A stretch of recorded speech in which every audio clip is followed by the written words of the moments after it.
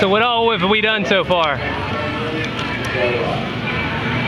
slingshot that's right beside this, Uh-huh. and and this pizza place right here. Uh-huh. And what else did we do? Uh, a machine gun thing, Uh-huh. and you had to fill up all of the, all of the, what was it? The star? Of the stars. Uh-huh. I mostly filled it all, Yep. all it up. I couldn't really do it. Yep, you did a good job though. Yeah, I did. And my daddy's the one taking that in. Yeah. But you've had fun today?